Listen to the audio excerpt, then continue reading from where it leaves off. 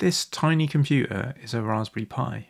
It's made for schools and loved by makers, and more specifically, this is the Raspberry Pi 5, which was released a few months ago. Now, this version is an 8GB of RAM model, costs just £80 in the UK or $80 in the US if you're lucky enough to be able to get hold of one. So this tiny computer can be used for many things, but specifically in this video I want to show you how you can use that 8GB of RAM for running an open source large language model on your own network and what sort of benchmarks we can get versus say something like the MacBook Pro that I've used Ollama on in the past. So with that all said, let's get started. So I'm on my Pi 5. Um, I'm going to try and install Ollama on this and see how it goes. I should be able to run the Ollama instructions and just see how they pan out. So if we just copy that curl commands and uh, paste that, see how that does. Okay, cool. So that seems to just gone in and installed straight away. So if you're not familiar with Ollama, you can go and pick up any of these models it's got listed here. So we've got Mixtral, we've got uh, Llama 2, Tiny Llama, Code Llama. And I'm just going to try and run Tiny Llama at this point. We can just run Tiny Llama and it'll pull down that model. So let's see how we do.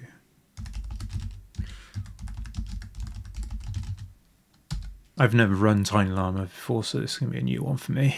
So I'm running Raspbian, as you can see, and I've updated everything, installed all the uh, latest packages, and I haven't installed anything else. I literally just installed Llama there. Okay, cool. So it's pulled down everything. Let's have a question. Classic, why is the sky blue?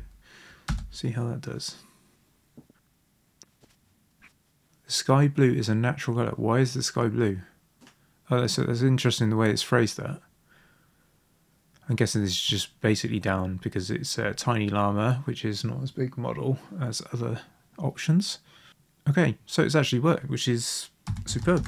So I'm actually pretty surprised that that got installed so quickly and was so easy. Um, I'm going to try out a few things. The fan did kick in on the um, heat sinks there when I was trying things, so it is obviously uh, using the CPU a bit. Be interesting to know when we do this. Um, so we can run this uh, verbose commands. So if I do ollama run tiny llama dash dash verbose, I think it is. Uh, then when we do y, do the same thing. we should get some stats out in terms of how fast it's generating those responses. Now, when I was doing this on my M1 Pro on uh, Llama, not Tiny Llama, we're getting about 22 a second, I think. And on my M1, I think it was like 17 or something like that. So eval rate 12.9 tokens a second. That is not bad that's prompt eval right so the eval rate is 10 tokens so roughly half what I was getting on the M1 Pro which is not too shabby. We could actually do a fairly a better comparison if we pull down the other model. So if I say buy and come out and then do ollama run llama 2 I'm actually going to pull down the uncensored one because um, llama 2 is pretty restrictive. it's pretty um, aggressive with its, the restrictions it applies. So you could ask for a, a really spicy sauce, or I think in my other video I asked for a regex for in Python, and it it wouldn't give me the answer to those regexes because um, it felt that they were inappropriate and that I might be trying to do nefarious things with them. So this is saying it's going to take about 10 minutes. So that's obviously a 4 gig model now just wait a sec and let that pull that down.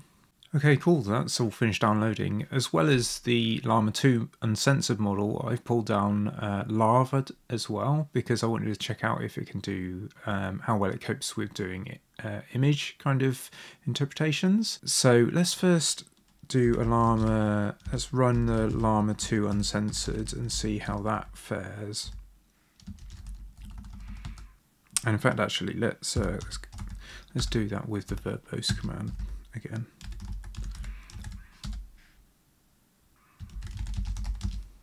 So I'm going to prompt it with, can you write a regular expression to match email addresses?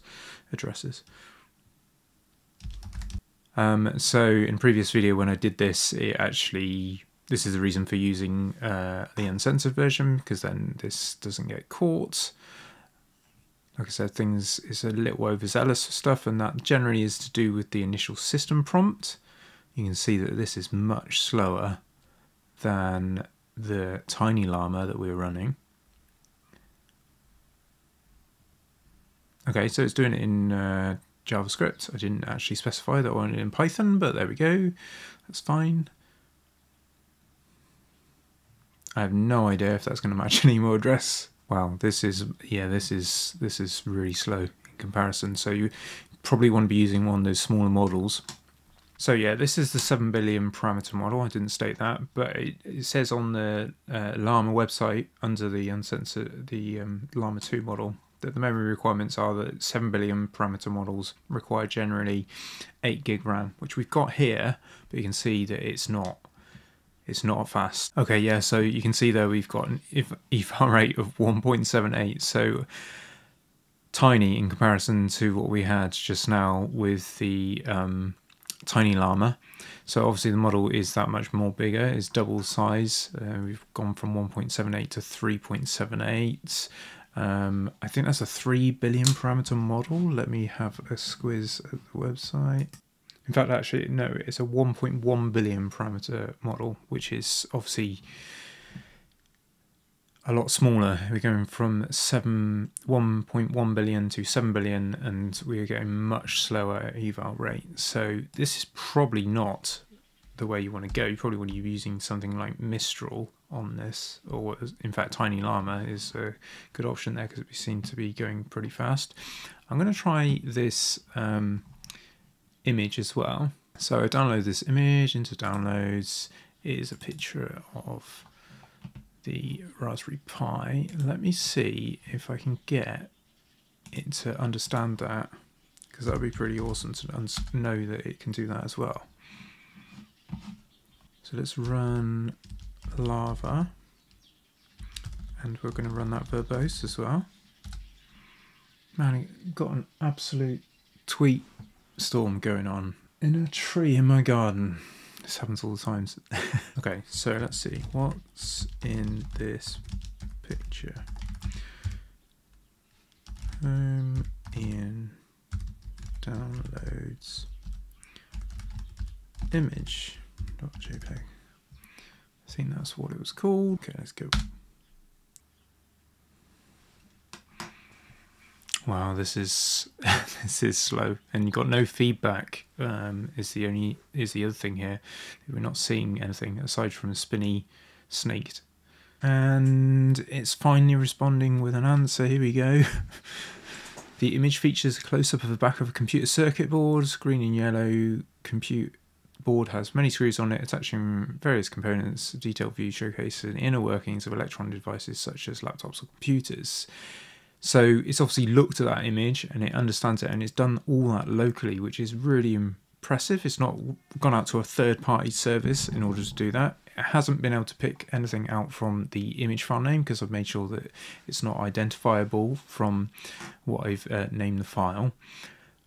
So that's really impressive, but it's incredibly slow. It took, how long did that take? Total duration, 5 minutes 33 so a long time. We've obviously got all of the features that um, Ollama has as well, such as the API stuff. You can go and check my previous videos if you want to see how to do that. But yeah, I hope you found this useful. Uh, let me know if you're going to be uh, trying it out on your own Raspberry Pi. I'll speak to you soon in a new video and check out one of my other videos on Ollama. There'll be one popping up in a minute probably. Okay, bye for now. Bye.